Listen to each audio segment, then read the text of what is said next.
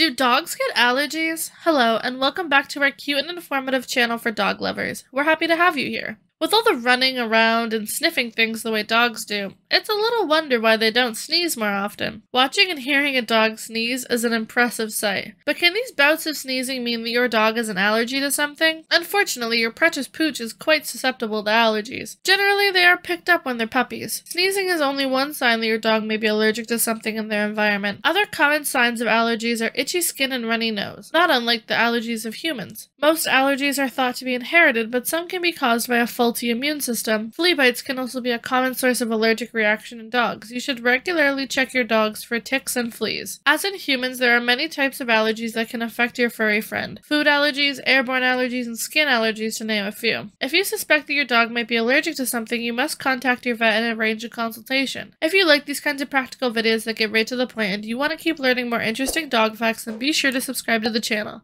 Hit the like button to let us know you appreciate our hard work. Let us know in the comments if you think your dog might have had an allergy and what did you do about it? With good treatment, TLC, and tasty treats, your dog will bounce back quickly from any allergy. That's all for now. Have an awesome day and see you in the next video.